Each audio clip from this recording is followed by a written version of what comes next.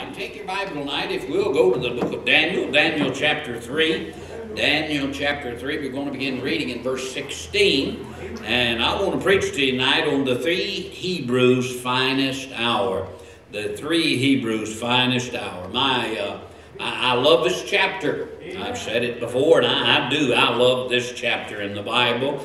Uh, we're going to kind of jump right in in the middle of what's going on. If you're not familiar with what's going on, we will just remind you that Nebuchadnezzar the king set up a great golden image and uh, demanded everybody bow down and worship it. When that, so they got everybody out on the plain of Dura where he had set it up. They played all the music and everybody bowed except three fellows. And those three fellows uh, did not bow, and they were brought to the king's attention. And uh, so he said, Going to give you another chance, fellows. Going to give you another chance and just let you know that, uh, you know, you've got that chance. And if you don't, you'll be cast the same hour into the midst of a burning fiery furnace. And who is that God that shall deliver you out of my hands? And then we come to verse 16. Shadrach, Meshach, and Abednego answered and said to the king, O Nebuchadnezzar, we're not careful to answer thee in this matter. If it be so, our God, whom we serve, is able to deliver us from the burning fiery furnace, and he will deliver us out of thine hand, O king.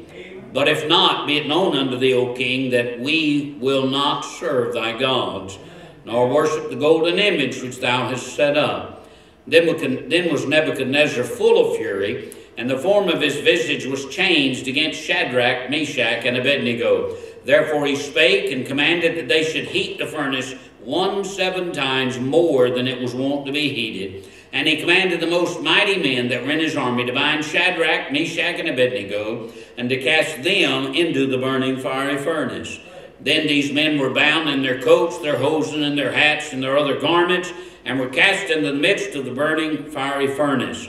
Therefore, because the king's commandment was urgent, and the furnace exceeding hot, the flame of the fire slew those men that took up Shadrach, Meshach, and Abednego. And these three men, Shadrach, Meshach, and Abednego, fell down bound into the midst of the burning fiery furnace. Then Nebuchadnezzar the king was astonished, and rose up in haste, and spake, and said unto his counselors, Did not we cast three men bound in the midst of the fire? They answered and said unto the king, True, O king. He answered and said, Lo, I see four men loose, walking in the midst of the fire, and they have no hurt, and the form of the fourth is like the Son of God. Amen. Boy, over and over again in this chapter, you find the names Shadrach, Meshach, and Abednego brought up. You'll notice every time he can, the Lord puts their names in this chapter. It's almost like he's reminding you who is doing what they're doing, all right? He just lifts them up. And I tell you, as I read these words, my soul gets stirred, my heart gets thrilled, and, and my spirit just wants to shout a while, all right? Can't help it. Uh, in this day when Christianity is pushed aside, the church is unappreciated, and, and Christians are looked on as second class citizens. I'll be honest, I enjoy reading account of God's people putting it to the world. Amen. He said you ought not to have that attitude. Well, you'll have to forgive me for getting in the flesh, I guess, every now and then. But I sure do like it when that kind of thing happens, all right? I like it when that, that takes place, when God's people stand up and, and boy, they're just able to say, see there, I told you. I told you, all right? Now, we've looked at the main characters in this chapter. First, we looked and tried to preach to you on King Nebuchadnezzar, who knew better than what he did. Should never have done what he did. And then we looked at the God who was responsible for all that happened here, that God who shall deliver you out of uh, Nebuchadnezzar's hands. We looked at him last week. Tonight, what I want to do is I want to examine these three men. These three men who stood for their faith in the face of a certain fiery death uh, they still stood. There's some things about them that you just you can't overlook when you get to this chapter. Uh, it's impossible to overlook it, and, and unfortunately, those things we see in their lives seem to be real rare today in the majority of Christians. Real rare things. And I just want to jump right in. First of all, I want you to notice there in, in verse uh, 18. I want you to notice that phrase they said to Nebuchadnezzar, who had come and said, You will worship this image that I've set up, or you're going to die. I'm going to throw you into the fiery furnace. And they said to him, We will not serve thy gods, nor worship the golden image which thou hast set up. He said, We're not going to do it. He said, Where's that come from? That comes from conviction. Amen. Conviction. Boy, these men lived by their convictions. When we first meet them in chapter 1, those three, along with Daniel, stood out because of one thing because of their convictions convictions. They had some convictions. It wasn't a matter of something that they just thought up that day. They didn't just get out that day and look at each other and say, hey, fellas, what do you say? Let's don't bow and see what happens. No, no, that wasn't what's going on. They had already made up their minds, hey, years before, there's only one God we serve. We serve the Jehovah God, the God of creation. That's the only God we will serve. And when Nebuchadnezzar put that image up, and he said, You're going to worship it, they knew right then they weren't going to do it. I don't think those three stood together in that crowd that day out on that plain and said, Well, fellows, I'm not going to do it. What about you? I believe they all three knew we're not going to do this. Amen. Why? They had some conviction. They had some conviction. Folks, it's thing that's sadly lacking among God's people today is convictions right. about right and wrong. Now, when I talk about convictions, I'm not talking about some personal opinion that you hold. Right. You know, I, I oftentimes give my Sunday school class a hard time. All right? I, I talk to them about the the evil liberalism that I see rampant in my class sometimes because those men have on colored shirts, all right? And I jump on them about it and say, you fellows ought to be ashamed of yourself, all right? Now, I'm really just giving them a hard time, all right? Now, if you see me and I'm in the pulpit, I'm going to be in a white shirt, all right? You say it's a wicked sin to preach in a, uh, in, in a colored shirt maybe a sin, just not all that wicked, all right? But, uh, you know, I just, hey, I believe a white shirt looks better, so that's what I wear. But I cannot take you into Scripture and say, see, the Bible says, thou shalt preach, thou shalt wear a white shirt. That's not in the Bible. I talked to a lady one time, had her kids in our school, and she they go to a different church, and she said, we had an evangelist come through one time, and he preached that if a man wore any color socks besides white socks, they'd go to hell. And she said for months after that, the men in our church didn't wear anything but white socks. Well, I said, I just want to ask you, I said, what scripture did he use? She said, none. Now, I'm talking about convictions. I'm talking about Bible convictions. Hey, the problem is in our day we don't have any. God's people, people that profess to be saved, we don't have any convictions.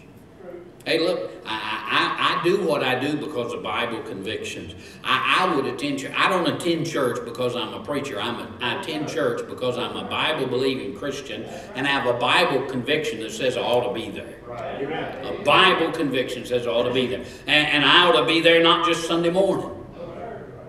The Bible says so much the more, so I figure the more the better. All right? So to be there all the time. I'm going to be faithful. Why? Because the Bible says ought to do it. Hey, I tithe. I tithe because I got a Bible conviction about tithing. Give to God. I, have got a Bible conviction about it. Hey, I give to missions. Why? Got a Bible conviction. Got a Bible conviction about it. I can take you to the Word of God and show you, here's what the Bible says. That's why I do what I do. Amen. Hey, I, I, I am what I am because of Bible convictions. Hey, you're, you're a preacher. I dress the way I dress because of Bible convictions. Amen. Bible convictions. And I, it, it's not a matter of me just saying, well, I prefer this. No, I, Bible convictions. You're not going to go by my house and see me mowing my grass in a pair of shorts and no shirt. That's not going to happen. If it does, you get a hold of somebody quick. I have lost my mind, all right? and that boy needs mental help. So you you know that. If you ever see that, don't think, well, that fellow lied in the pulpit. No, he's lost his mind. All right. It's not going to happen. Okay, not going to happen. Hey, if you see my wife, she's going to be dressed every day of the week the way she's dressed on Sunday. Why? Because we got a Bible conviction. Amen. Got a Bible conviction. Hey, I just think it's right to do right. And somebody say, well, I think, okay, but what's the Bible say? Yeah, What's the Bible say? We can argue about opinion, but what's the Bible say? I'm going to tell you something. These three Hebrew fellows had Bible convictions, and that's why they stood the way they stood. It's those convictions they live by. Hey, those men refused to compromise their convictions. Yeah. They wouldn't compromise them. So many people today, we compromise. Sure. We compromise, we give in. Can I say this to you? It's the easiest thing to do. Oh, it is so easy to compromise what you believe. I mean, we, we've seen it happen. We've seen it happen across the land. Hey, we've seen it happen in, in churches that were good churches. They compromise what they believe about music. Oh, yeah. They compromise what they believe about the Word of God. Right. I, I can take you to churches close by where people used to stand and preach and believe the King James Bible is the Word of God. And tonight, if they're having a, if they're having a service tonight, he's not preaching out the King James Bible. Now, what happened? Well, he compromised his convictions. Now, there, there's a lot of, lot of pressure to compromise. I want to tell you, these three men would not compromise their convictions. Number three, I want you to see it, they were willing to die for their convictions. They were willing to die. When they stood in front of King Nebuchadnezzar and said, We will not serve thy God, nor worship thy golden image, they realized that meant the death sentence. Hey, we're going to be cast. They realize what's coming the furnace. We're going in. They knew that. Hey, they were willing to die for their convictions. Willing to die. Hey, first thing I see about a conviction, second thing I see is courage. Courage. Notice what it says there in verse 16. See that in verse 16? Old Nebuchadnezzar, we are not careful to answer thee in this matter. They did not say, well, we'd like to speak diplomatically. No, they said, we're not careful to answer thee in this matter. Why not? Courage. Courage. Hey, it takes some courage to stand there. Convictions are great. Convictions are absolutely necessary, but they absolutely must be backed up with courage. There's got to be some courage. There's got to be within you some courage. Without courage, folks may never know what convictions you have. Because it is your courage that enables you to stand for those convictions when the pressure's on. Amen. When the pressure's on. When the pressure gets applied, you stand. If you've got the courage of it. Uh, look, our, our teenagers, it's easy for you to be a teenager at youth camp and have great standards, great convictions. Amen. But when you come home, that's when it gets tough. Amen. Hey, we've, we've had teenagers go to camp years past, come back, want to do some things, and guess what? You say other teenagers made fun of them. No, their parents laughed at them. Amen. Hey, guess what happened to those teenagers? They didn't turn out too good. They didn't turn out too good. Hey, listen, you need some courage. You're going to have some convictions. Like I say, man, it's easy to do right in the house of God. It's easy to do what's right. Hey, it's easier to do what's right if you're in a big crowd and, and, and everybody's doing the right thing. But when it's you three against everybody else, and oftentimes it's you one, not you three, and everybody's attacking, hey, that's when it takes courage. These three, though, stood. They stood. They knew they were going to. I mean, how are you not going to stand out? That'd be like you being at Mecca and the call to prayer comes out, and everybody in Mecca's got a rug, oh, and everybody in Mecca rolls it out, and they're bowing, and you're not. and you think, I'll blend in? No, you won't, okay? You're not going to blend in. Now, you could say, well, I'll compromise. I'm going to bow, but I'll pray to the real God. No courage. No courage. All right? No courage. Hey, uh, the need for courage to be displayed can really reveal the depths of your convictions. It's when you've got the courage, all right, that really reveals the depths of your convictions. How much you really believe it. Life and death situations, they're going to reveal what you believe. I mean, when you're standing there, life and death. Now, I've said it before. It's easy for us to stand here today as Bible believers, as independent fundamental Baptists, and say, Amen to those three Hebrews. But if you were there, I don't know what we'd do. You say, Preacher, I'd stand. I know I'd stand. Well, I'd like to tell you, I'd like to think I would stand, but I don't know I would. Amen. You'd have to be there. Amen. You'd have to be there. It's that courage. Courage is what's lacking so many times in so many of God's people. Uh, we've got the right convictions, we've got the right beliefs, but we don't have enough courage to display it. We don't have the courage to stand on what we believe. Those three Hebrews did. Their finest hour was a time of conviction. It was a time of courage. Tell you something else. It was a time of confidence. Confidence. Look at it. Look at what they say, all right? Uh, they said here, Our God, in verse 17, whom we serve, is able to deliver us from the burning, fiery furnace. Hey, did you see that? Our God, whom we serve, is able. There's confidence. Amen. Now I want you to see their confidence was in God. Amen. It was fully 100% in God. They believe Psalms chapter 118. Flip over there in your Bible, Psalms chapter 118. They believe these two verses, all right? Psalms 118, there's two verses, verse 8 and verse 9. Back to back, say almost the same thing, real close to the same thing. Uh, but Psalms 118, verse 8, says it is better to trust in the Lord than to put confidence in man. Verse 9 said it's better to trust in the Lord than to put confidence in princes. Hey, you know what? They could have, these uh, Shadrach, Meshach, and Abednego could have put their confidence in Nebuchadnezzar. After all, Nebuchadnezzar in chapter in chapter 2 had said that the God of Daniel is the God of gods. And, he's not that, he's the Lord of kings, he's a revealer of secrets. And now he is just a few years later stuck up a golden image and said, worship that. But they didn't put their confidence in him, their confidence was in God. If there's one thing you and I need in this day, we need confidence in our God. We ought to have confidence in him.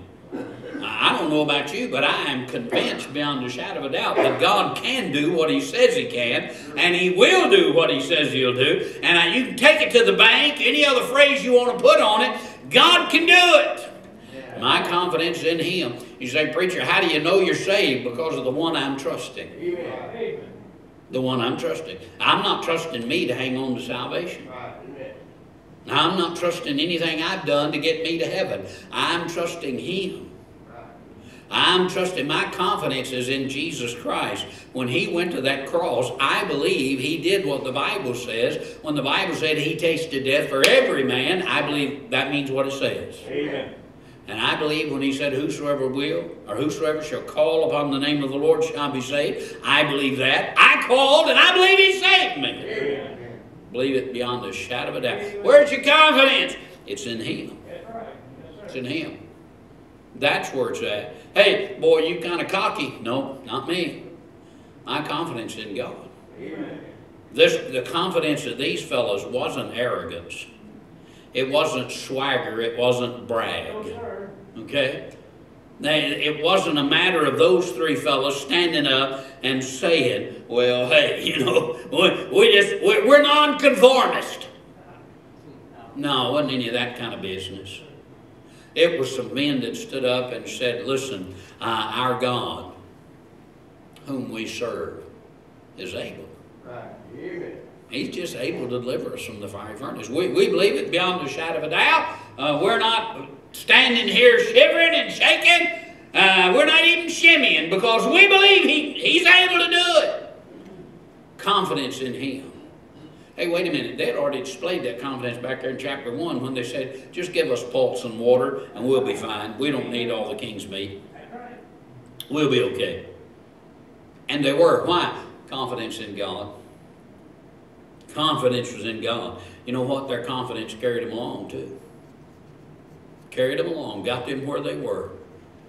Now, they had an absolute outstanding confidence and an outstanding, unbelievable, powerful God. They said, we, We've got some convictions, we believe some things, and, and we've got enough courage to stand on them because we've got confidence in our God. Old Nebuchadnezzar keeps coming back, and he had said to him, Now listen, if you don't, when you hear that music, if you don't bow, I'm going to throw you in the fiery furnace. And who is that God that should deliver you out of my hands? They were basically saying, Our God. He's the one that's able. He's the one that can do it. He's the one that's able above all others. He's able to do it. But boy, I want you to notice this next thing about him. Hey, there was there was you know conviction, there was courage, there's confidence, but I want you to see this. There was commitment. Because you look at verse 17 real careful, all right? If it be so, our God, whom we serve, is able to deliver us from the burning fiery furnace. But then look at verse 18. But if not. Amen. Can I tell you something? I like that if not part. Now, you and I know what happened. We know the end of the story. We know the song. They wouldn't bend, they held on to the will of God, so we are told they wouldn't bow their knees to the idol made of gold. They wouldn't burn, they were protected by the fourth man in the fire. Yeah, they were. We know the end. But they're not at the end right here, folks. They're saying, Our God is able. But if not, we just want to tell you something, all right? Okay? He said, If not, be it known unto thee, we will not serve. We will not serve thy gods nor worship the golden image. He said, just you mark it down. Mark it down. We're going to do it. Why? Now that's commitment. Can I say this to you? Their commitment wasn't tied to any particular outcome. A lot of people, we, we make a commitment as long as we know how the outcome's going to come out. Hey, preacher, I'll do that if. I'll do that as long as. No.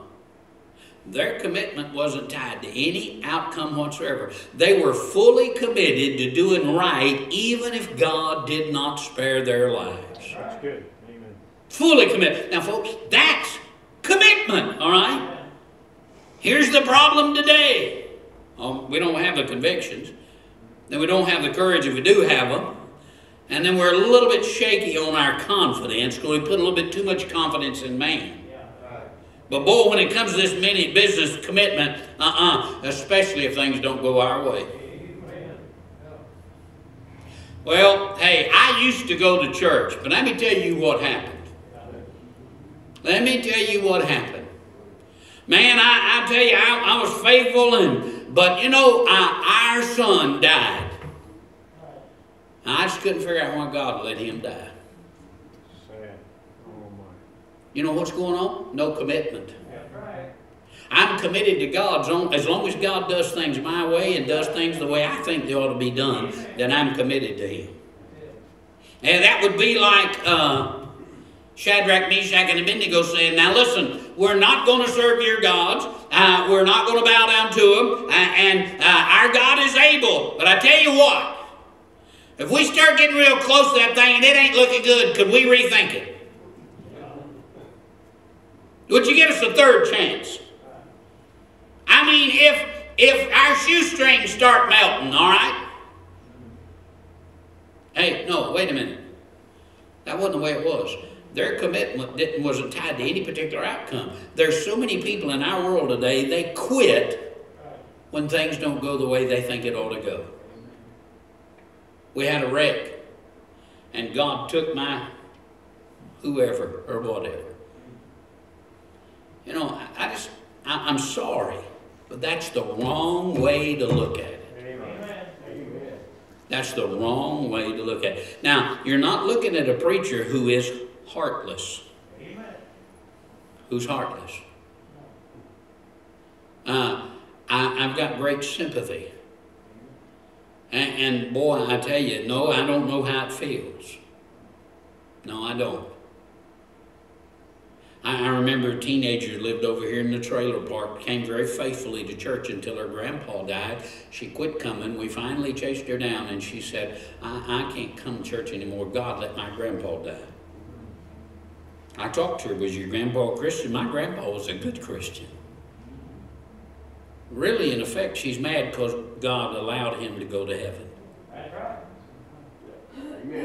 But you know, it, we just go on and on and on. I've talked to so many people, I've heard so many stories about so many Christians. Their commitment only lasted until out, something happened that they didn't like and they didn't want, and they quit on God. They quit on God. Hey, listen, we can't do that. You know what our commitment ought to be? It ought to be like old Job said in Job 13 50. Job 13 15. Though he slay me, Uh-huh. yet will I trust him. Amen. That is commitment. Though he slay me, yet will I trust him. I believe that's exactly what they're saying. They said to him in verse 17, If it be so, our God, whom we serve, is able to deliver us from the burning fiery furnace, and he will deliver us out of thine hand, O king. Yes, sir. He will do that. But if not, we still won't do it. We still won't do it. Conviction, commitment. Now, can we get to the exciting part? Convincing. Convincing. The king looked in there in verse 25 and he said, I see four men loose, walking in the midst of the fire, and they have no hurt, and the form of the fourth is like the Son of God. Verse 26 Then Nebuchadnezzar came near to the mouth of the burning fiery furnace and spake and said, Shadrach, Meshach, and Abednego, ye servants of the Most High God, come forth and come hither. Then Shadrach, Meshach, and Abednego came forth of the midst of the fire. And the princes, governors, and captains, and the king's counselors, being gathered together, saw these men upon whose body the fire had no power, nor was an hair of their head singed, neither were their coats changed, nor the smell of fire had passed on them. Then Nebuchadnezzar spake and said, Blessed be the God of Shadrach, Meshach, and Abednego, who hath sent his angel and delivered his servants that trusted in him and have changed the king's word and yielded their bodies that they might not serve nor worship any God except their own God. Amen. Hey, I want to tell you, you know what?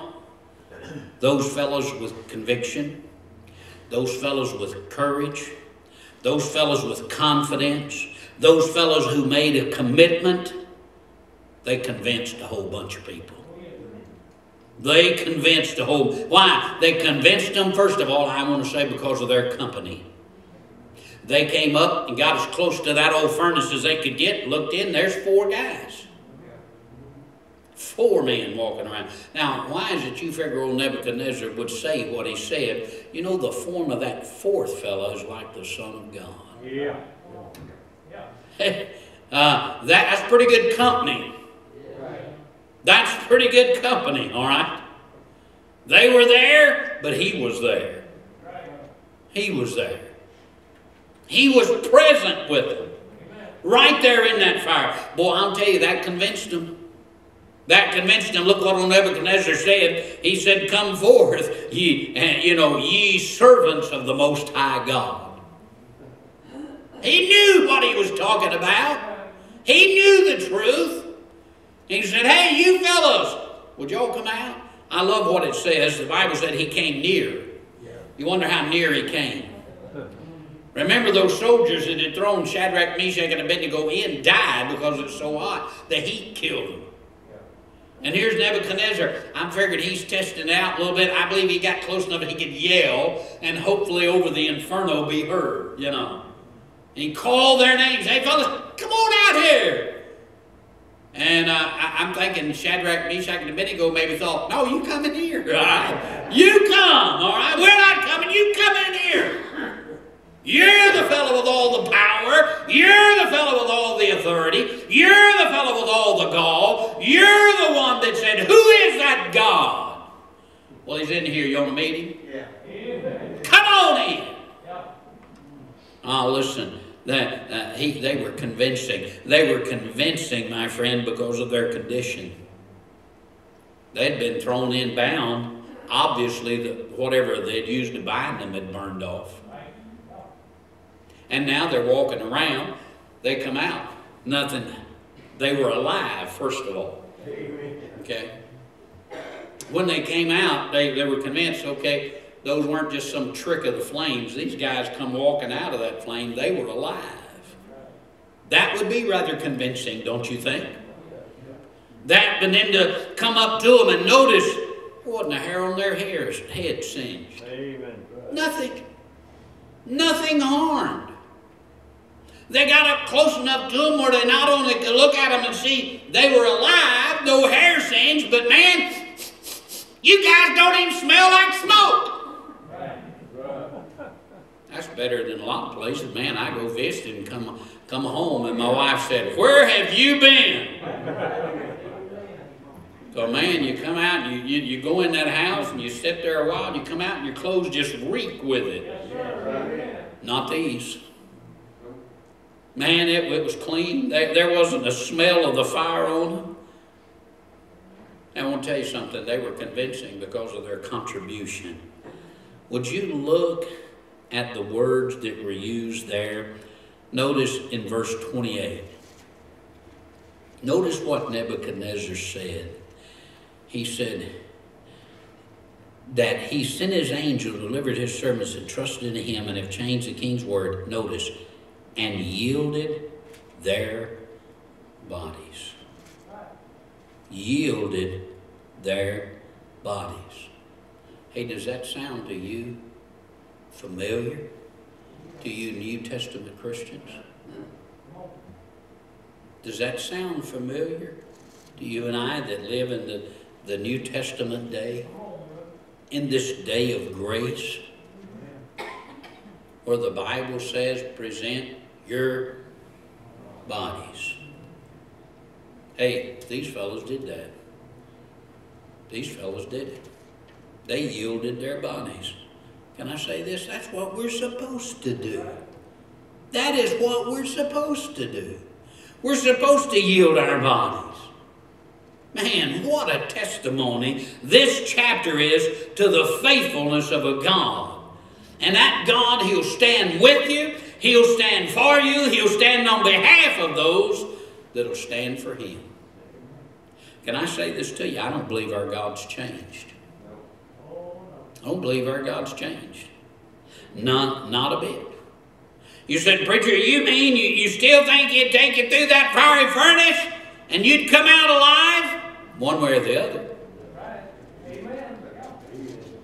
One way or the other. Now you say, well, you're, you're kind of quick. No, no.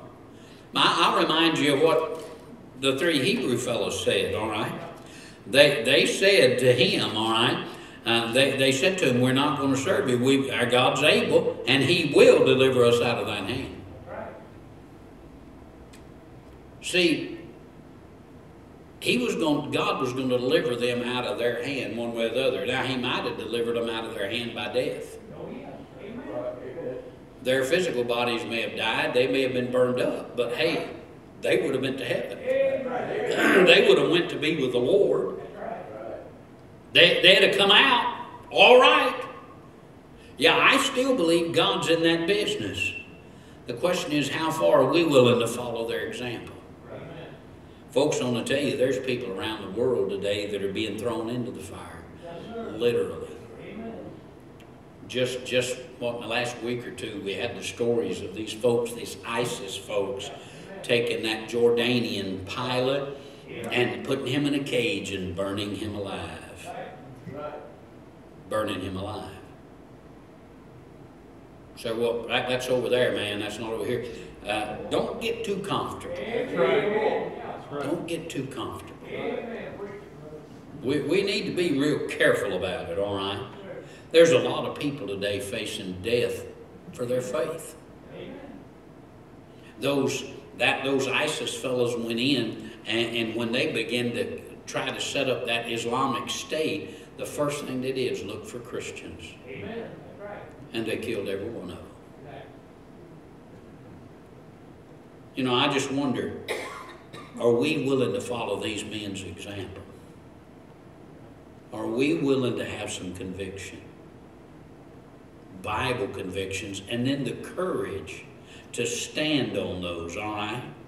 And just ask you this could we have the courage to have some conviction and confidently commit ourselves to God as we try to convince a lost and dying world? Do we have that? Do we have that? Folks, God still needs people like that. Amen. God still needs people like that. Not arrogant, not boastful, not cocky, but those that believe God, trust Him, have some convictions, and willing to say, those convictions are not for sale. You can threaten me any way you want to, but whatever you want to do, it's not going to matter. It's not going to change.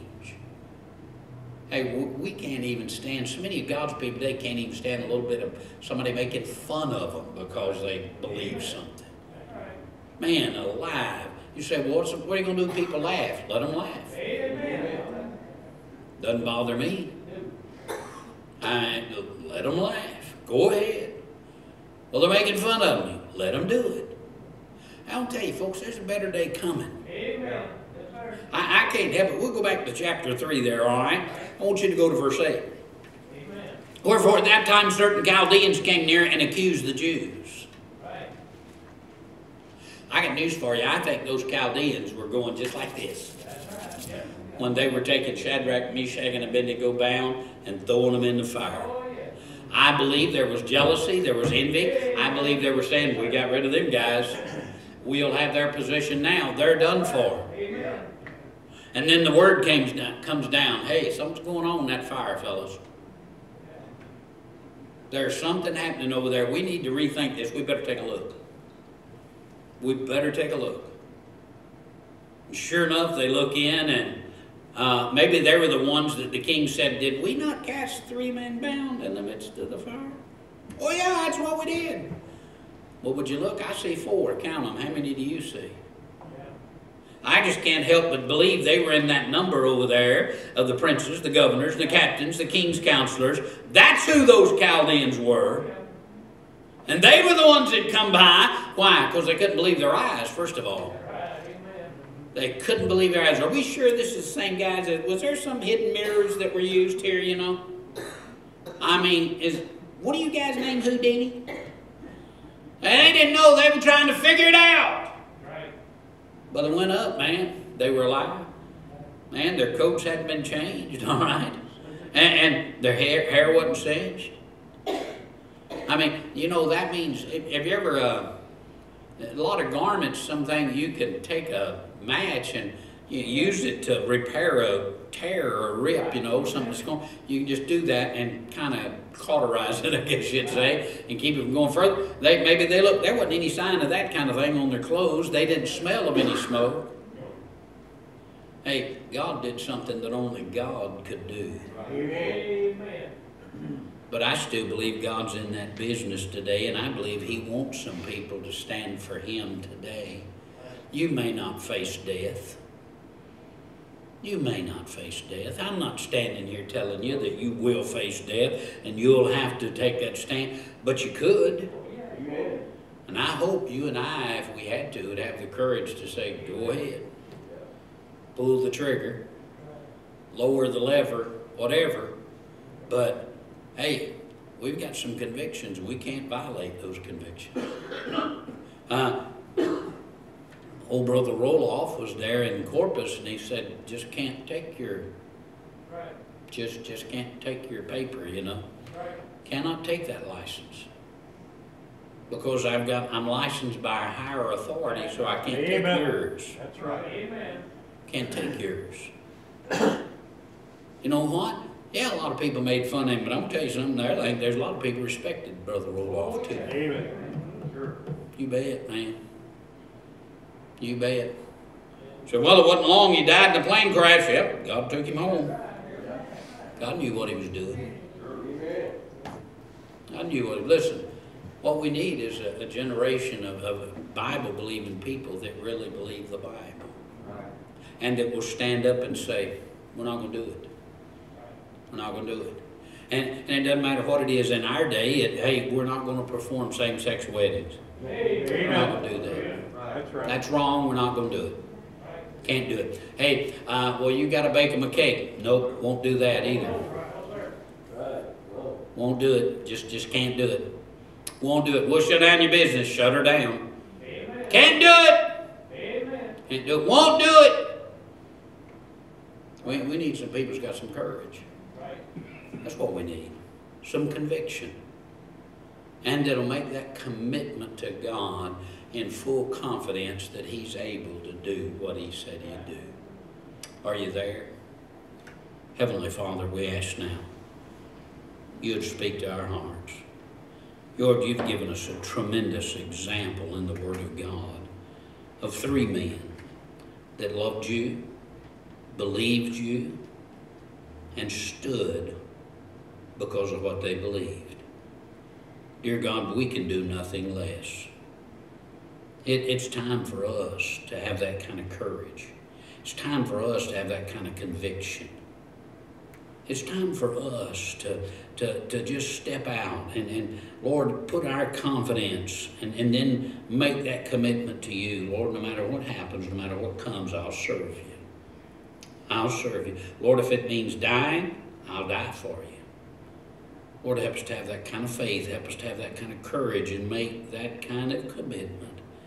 Because that's what's needed in this day to convince the lost that our God's real. Lord, He's able. Help us to do it. In Jesus' name I pray. Amen. Would you stand tonight as we come to the invitation time? God's dealt with your heart. Maybe look, maybe you just need to make that commitment. You don't have to come make it to me, you just need to make it to God. I, I think there ought to come a time we ought to commit ourselves before Him totally, completely. Lord, I'm going to do your will. I'm going to take a stand. Whatever happens, I, I'm going to be there. God, help us to do it. As we sing tonight, if God's dealing with you, you come.